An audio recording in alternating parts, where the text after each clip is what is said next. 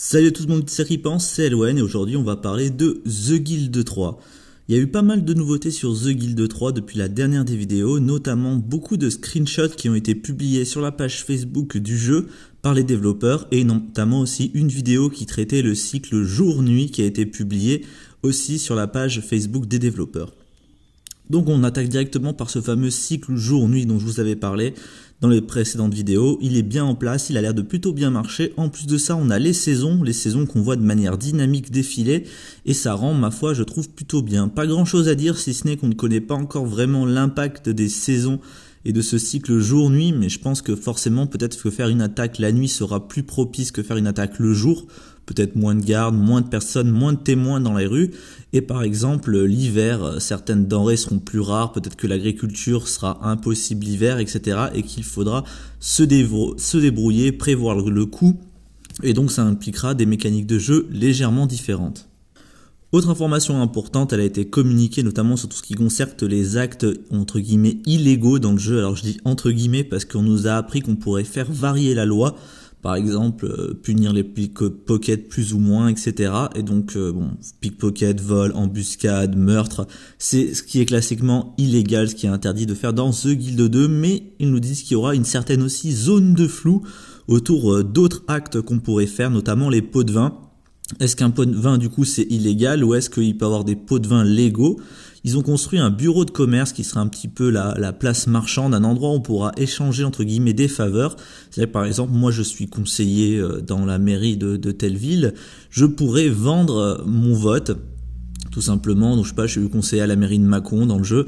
Je pourrais vendre mon vote pour le poste de trésorier, par exemple, à quelqu'un d'autre, moyennant un prix, moyennant d'autres services. Tout est monnayable, il nous est dit, c'est-à-dire qu'on peut même monnayer, par exemple, la main de ses enfants pour le mariage.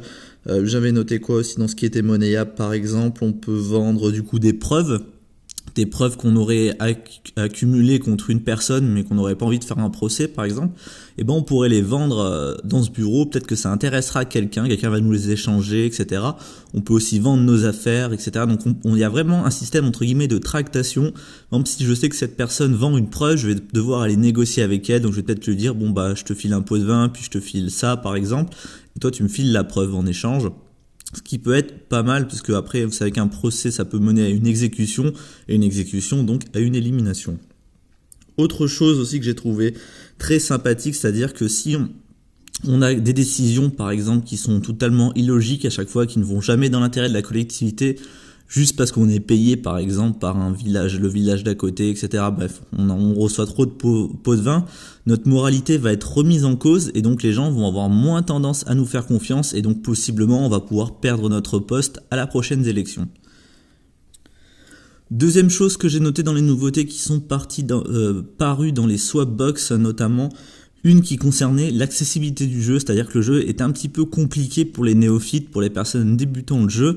Il y a beaucoup d'options, euh, l'interface n'est pas forcément très très intuitive toujours.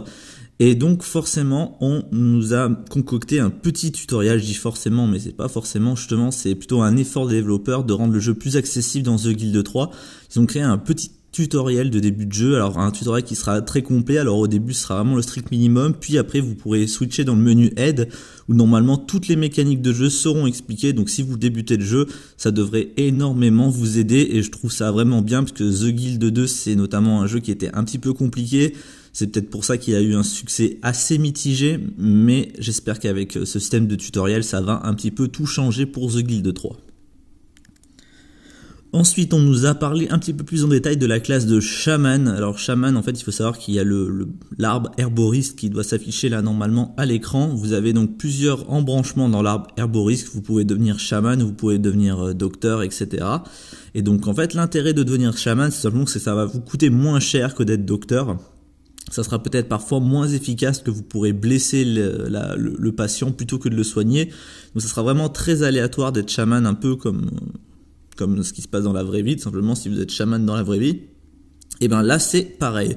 Ça sera donc plus risqué, donc des fois vous allez rater votre coup, le patient sera mécontent, vous-même vous allez peut-être vous blesser lors euh, des soins, donc il y a vraiment un, côté aléatoire dans Shaman qu'il n'y a pas dans Docteur, mais c'est plus rentable, ça vous allez faire plus d'argent, ça vous coûter moins cher de soigner les patients, bref c'est un peu de l'escroquerie peut-être, mais du coup c'est un embranchement qui est intéressant de prendre dans Herboris, je trouvais ça sympa qu'il nous euh, mettre comme ça dans chaque métier une branche un petit peu peut-être euh, plus charlatan, moins euh, à ce qu'on s'attend moins, enfin voir chaman dans, dans la même branche que médecin, parce que c'est vrai que médecin c'est plutôt le mec sérieux, chaman c'est peut-être un peu plus celui qui est un petit peu fou, ce qui fait appel, voilà euh, des pouvoirs magiques et tout. Et donc là, on est plutôt dans un univers médiéval réaliste. Donc c'est vrai que c'est marrant, je trouve ça sympathique.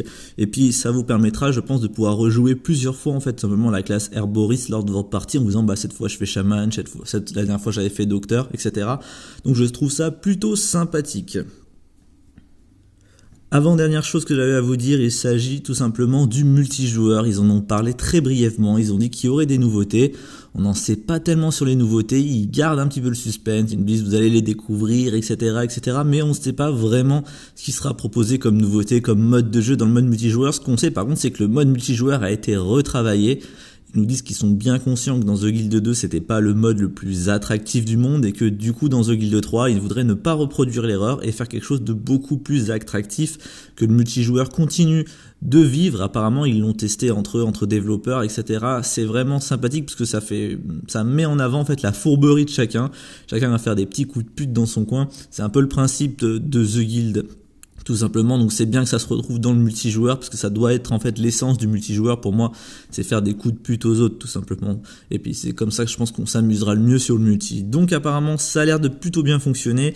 Ils sont encore en train de travailler dessus, c'est pas totalement fini mais ils essaient de le perfectionner au maximum. Pareil, ils essaient de réduire les bugs parce qu'ils étaient savent qu'il y avait beaucoup de bugs sur The Guild 2.